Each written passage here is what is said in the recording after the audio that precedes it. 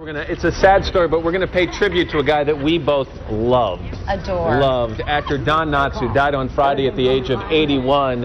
Known so well, of course, as Barney Fife and Andy and Mayberry, Andy Griffith show. Gosh, we love this thing. I could, I remember Otis, all the guys. I just absolutely adored watching that show. I know, and of course he, he uh, was on Three's Company later on, but of course to me he'll always be Barney Fife because that was one of my very favorite shows, and to this day it still is. I absolutely adore that show, and Andy Griffith is such a And that's who- fabulous guy. That's who we're going to be talking about Don Knotts with coming up in just a little And we while. were talking, uh, we mentioned Barney Fife with the wonderful sheriff, Andy Taylor, a.k.a. Andy Griffith. Don Knotts remembered, but first, this is Today on NBC.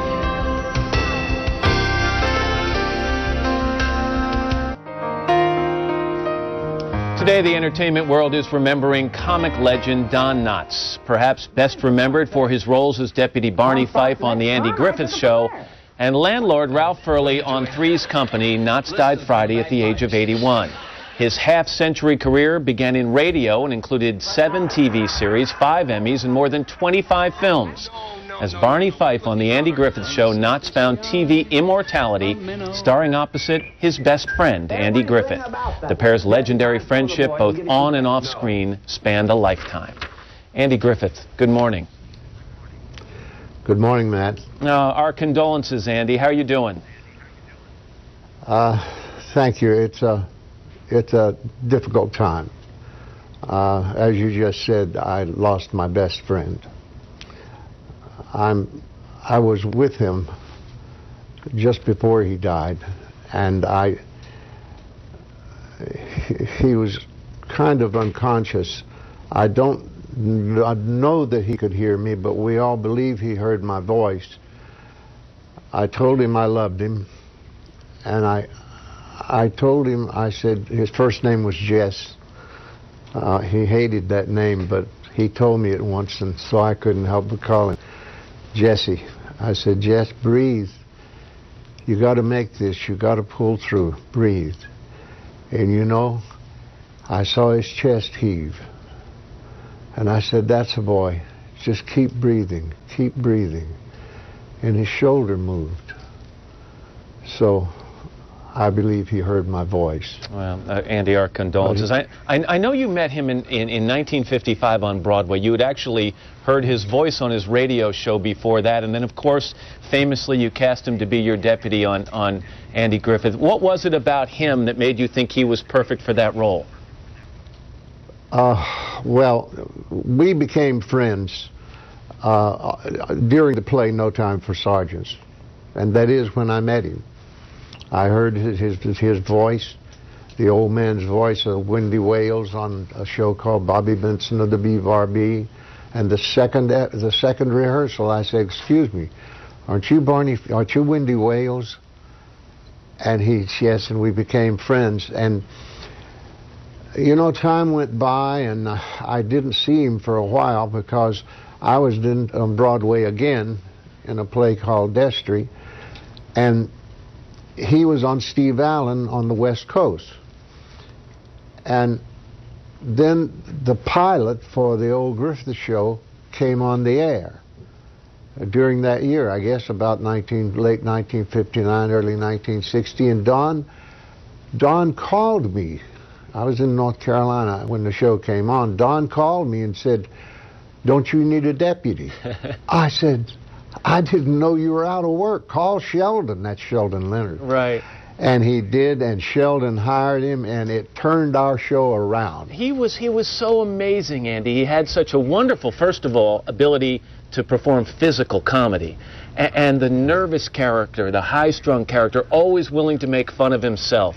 Uh, I mean, he Yes. really it was such a wonderful partnership between the two of you. Uh, everything we did came out of our friendship. Uh, we, I see the goat. we, uh, we would sit and work on script every Thursday. And when we very first started, when Don had an idea, he would whisper it to me and I would vocalize it. But then after a little while, he would just say his ideas. He was a very good writer. Yeah, I don't think a lot of And, people uh, realize that, Andy, that, that, that he really contributed to the writing part of the show. Oh yes, he did. We didn't. We both did. We neither one of us had a, a writing card at that time, but we wrote anyway. We wrote because of love. Uh, we wrote because we wanted to make what we were doing as good as we could, and uh, we apparently did. I, I mentioned, Uh, Andy, that, that he played these high-strung nervous types, either as Barney Fife or as Ralph Furley. Was he at all like that off screen? No, not at all. He was very much in con- control of himself. Uh, Barney, Don. Don was an extraordinarily bright man. He he knew life. He knew how to get around. He had a a great admiration of women, and uh, he wound up with a good one Yeah. his wife, Francie Yarborough Knotts. She was very good to him. Seven TV series, five Emmy Awards, 25 movies. I'll never forget The Incredible Mr. Limpet. I mean, did he ever think Yes. about uh, how, how, was, how was his emotional state before he got very ill? Uh, fine. He Don Don at the last. He's. I, I guess you know that all actors are like this. When when something goes wrong with us, we don't want anybody to know. Uh, when I had my heart operation, I went into the hospital with a different name, and nobody knew. Right. that I uh, that I was sick, and Don didn't want anybody to know that he was having trouble with his lungs, and they they didn't. We kept it, or he kept it a secret even from me for a long time. Andy, just in, But- clo- in closing, how do you think he'd want to be remembered? Uh, as a lovely, funny man who wanted people to laugh and wanted people to enjoy life.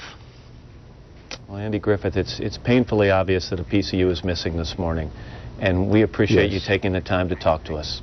And our condolences It's again. a great, thank you. It's a great pleasure to honor the life of Don Knotts. And we'll be back in a moment. This is Today on NBC.